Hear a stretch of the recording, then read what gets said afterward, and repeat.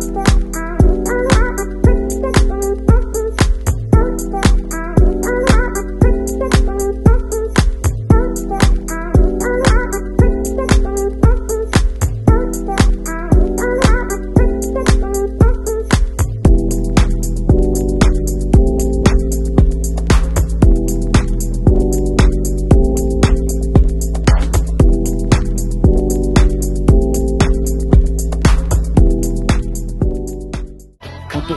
Tugasan yang pertama, anda akan diberikan keyword dan terpaksa menghuraikan selama 30 saat.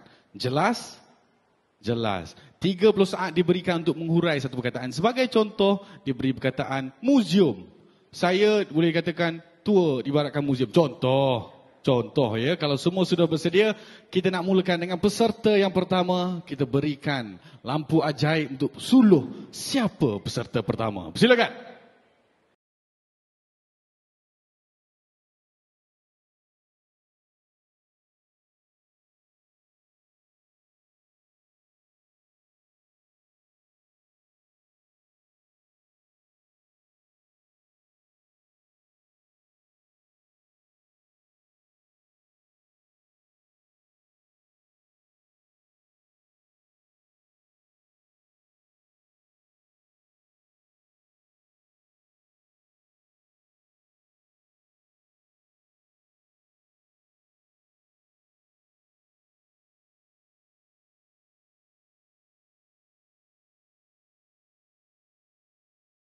30 saat awak bermula sekarang. Baiklah. Hierarchy social is something that is categories people into their wealth and income into places. So there are uh, top and bottom. But what we have to believe that there will be no top people if there is no bottom people. So all the people from the bottom are either working for the middle class or the top tiers. So this is an ecosystem altogether. So we have to respect and be kind to each other because end of the day we are all working for ourselves and together. Thank yeah, you. Janani. Terima kasih Janani Beauty with Brain. Itu yang kita boleh katakan sekarang. Pembukaan cukup wow. Bijak jawapan diberikan. Seterusnya, Dewi manakah yang akan dipilih untuk menguraikan perkataan yang diberikan? Dewi seterusnya adalah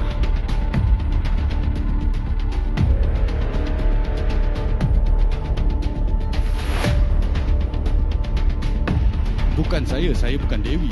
Dewi seterusnya adalah Hailey. Hailey. Si cantik manis, keyword untuk awak adalah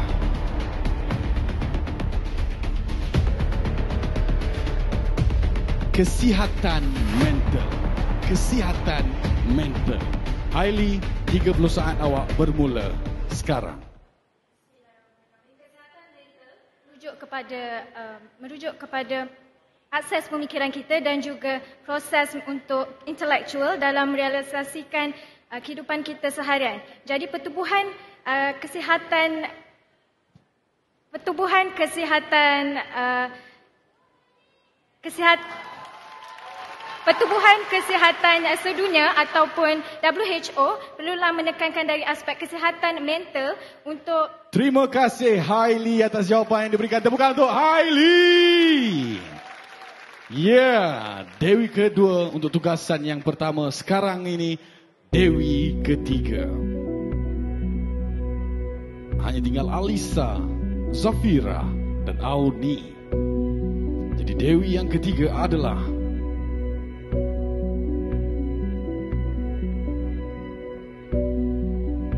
Alisa. Sila tampil hadapan. Alisa satu-satunya Dewi yang paling tinggi untuk episod eh, season kali ini. Alisa, keyword awak adalah kelestarian alam sekitar. Kelestarian alam sekitar. 30 saat awak bermula sekarang. Seperti yang kita sedia maklum, alam sekitar merupakan nikmat terbesar yang digunakan Allah kepada bukan sahaja manusia tetapi juga flora dan fauna. Jadi saya sangat menyokong usaha melestarikan alam sekitar yang baru ini dilaksanakan oleh Pereka Fashion Malaysia iaitu Hatta Daun Mat yang menggunakan uh, sisa uh, plastik sebagai uh, rekaan terbarunya di KL Fashion Week baru-baru ini.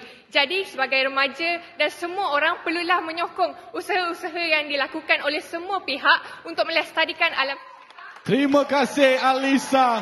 Hidup YB. Wow. Saya rasa macam dah nak dekat pilihan raya. Uh-uh. Terima kasih Alisa. Seterusnya antara Zafira dan Auni. Siapa agaknya akan menjawab soalan selepas ini? Pastinya bukan YB. Dewi seterusnya adalah Zafira. Yeah, Zafira segak bergaya. Zafira, are you ready? Yes. Keyword untuk awak adalah generasi TikTok. Generasi TikTok. 30 saat awak bermula sekarang. Seperti yang kita tahu pada zaman yang pra, agak moden sekarang ini, media sosial memainkan peran yang sangat besar. Dan salah satu media sosial yang sangat popular pada hari ini adalah TikTok. Dan kita boleh lihat yang beramai generasi muda yang memberikan pendapat mereka melalui TikTok. Tetapi kita juga perlu ingat bahawa TikTok ni boleh mendatangkan kebaikan dan keburukan. Oleh itu kita sebagai remaja perlulah berhati-hati dengan apa yang kita post di social media dan juga sentiasa menggunakan platform itu dengan berjayanya. Terima kasih Zafira. Wow, cerita yang kuat daripada penonton. Baik, ini bermakna Dewi yang adalah Audi. Auni, si kecil manis. Sudah bersedia Auni? Sudah. Kalau sudah bersedia, keywordnya adalah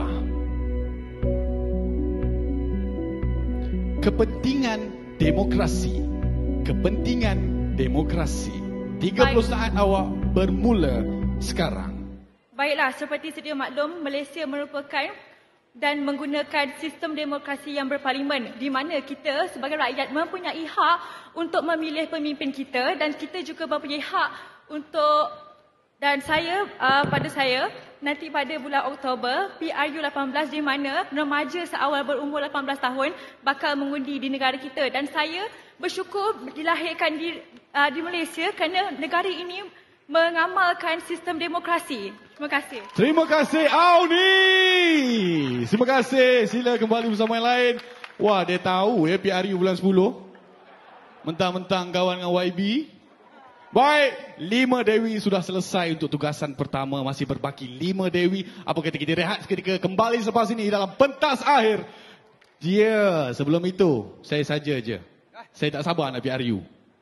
Okey, sebelum itu kita nak dengarkan sedikit komen keseluruhan untuk dewi-dewi kita yang berjaya menjawab tugasan yang pertama. Silakan Datuk Azril Haji Nawawi. Okey, uh, syabas kepada mereka yang memberikan pengucapan. Ini kira macam pengucapan awam ya. Bagi pengucapan awam, bagi Pak Neil, kalau mungkin uh, ini patut tips ni patut diberi awal sebelum mereka muncul. Tapi macam mana pun mungkin ini adalah satu tips untuk mereka yang terkemudian ini. Okey, uh, butiran perkataan itu adalah satu benda yang sangat penting. Ada di antara anda mempunyai uh, apa ni eh uh, cara bercakap dan bulat suaranya itu adalah satu uh, poin yang sangat membantu dan yang paling penting saya nak ingatkan kepada siapa nak buat pengucapan awam umpamanya cari suara yang sedap. Sebab kadang-kadang kita bermula dengan suara begini sebab kita dah terlalu selesa dengan suara begini kan. Tapi untuk pengucapan awam, cari suara yang sedap. Yang itu dapat memu- memukau penonton dan juri. Terima kasih. Terima kasih Pak Neil. Suara saya okey Pak Neil. Baiklah, kalau semua sudah uh, kita relax, dulu. Kembali selepas ini dalam pentas akhir Dewi Remaja 2022.